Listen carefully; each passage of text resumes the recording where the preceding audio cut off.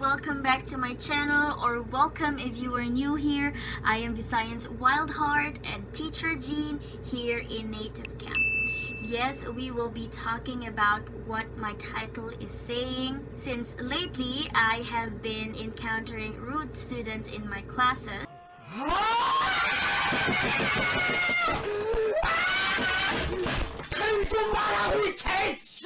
I actually have six rude students today.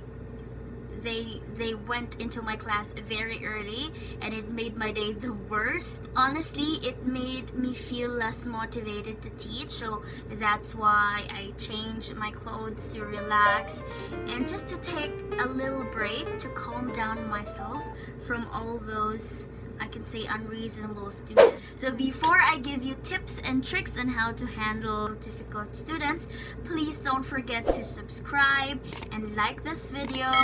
Also, don't forget to hit that notification bell so you will get updated whenever I have a new video.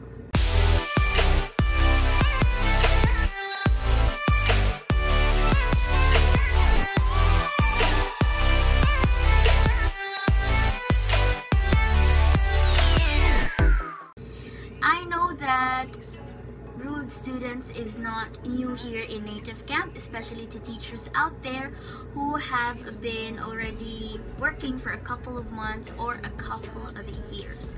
But to those who did not experience it you are very lucky. This video can help you in the future. Verbal abuse is not healthy to ourselves emotionally and mentally. You will end up validating yourself what you did wrong that the student responded that way. But in the end you will just realize that it was not about you it's about the student. So the student really is having an inner issues. First step never let them see you sweat and kill them with kindness. When a student is rude to you please never respond in a kind. Imagine if the student is on fire and you will also be in fire. So fire plus fire creates more fire. So it actually doesn't help the situation.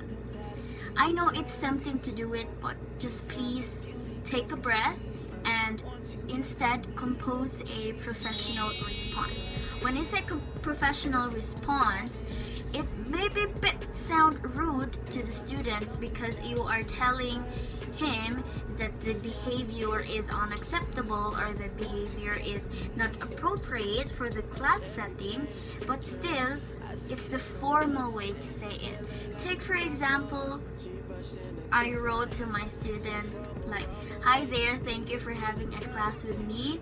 I know you're a very good person but during the class you were saying this and this and this and I think you are entitled to your own opinion. However you asked me on my opinion so I gave you the opinion and your reaction on my opinion is quite unacceptable especially the words that you are using which is already verbal abuse which is supposed to be um, a mutual a mutual understanding since you want my opinions. So in that way, you are telling your students that it's not good to say this way, but that's a in a formal way.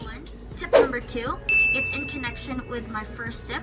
Yes, be kind, but make sure you are firm. It is important to convey a tone of kindness and firmness. We are there to teach students that means we are not their friends, colleagues, or dormots, and we deserve to be treated with respect just as much as students do. I noticed that students tend to respect teachers or who has clear and are consistent in enforcement of their policies. I have been noticing, for example, a specific student, most of the teachers um, is giving the real feedback to the student that the student is rude and stuff like that. But there is also a student that's just being passive like hey thank you very much for having a class it's been a wonderful talk which is I'm pretty sure it was not because most of the teachers already commented negative one. So don't be like that as a teacher. we have our own principles and especially since we are a teacher, we need to identify which is a bad thing and a good thing, but then we tell them in a professional way. Tip number three, take a deep breath and try to remain calm. I know it's natural to be overcome with frustration, resentment, and anger. But when you are actually in that situation, you become less rational and your agitation becomes contagious. So, as I said, fire plus fire it becomes big fire, which actually doesn't help in the situation. Tip number four don't personal. This is the wrong thing that I did. I took it personal in my situation. So as I told you, I end up validating myself. What I did wrong, the students responded me that way. So it's not about you. Usually students who respond to us negatively have underlying issues. Yes, and we are merely the unfortunate ones at that moment. So as humans, our initial reaction to criticism is to take it personal. However, if we allow ourselves to take a step back and view the situation from a broader perspective, we often can see students projecting their own issues onto us because we are the easier target than the real root of the problem. So again, it's not about you, it's about the students.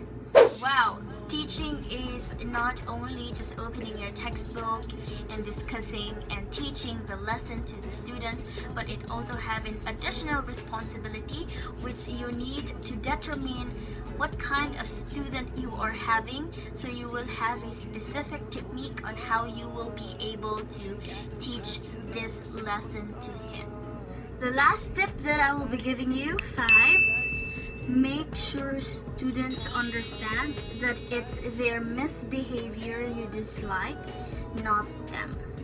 So you need to clarify your message or response that will not let them understand that you don't like them. Like for example, I have a a student, I wrote him like, for example, Mitsu. So I like you, Mitsu. Um, but right now your behavior is unacceptable and blah blah blah blah. So that is a really formal way to let your students know that you don't accept such kind of behavior. Um, I hope you can use those tips in your future journey here in native camp. But if a student is really um, let's say threatening you already like I'm gonna kill you I'm gonna I'm gonna kill you I'm gonna do this and blah blah blah then I think it is better to to block a student and then to take and to give the reason why you're blocking him. And also go to your admin and then make a formal complaint about the student and be precise with your report like name and then lesson ID and then what really happened the situation and all the foul words. If you have any questions, don't hesitate to comment down below what you want me to do on my next video. Please again, don't forget to subscribe. This is your Visayans Wild Heart. Till the next video. Bye!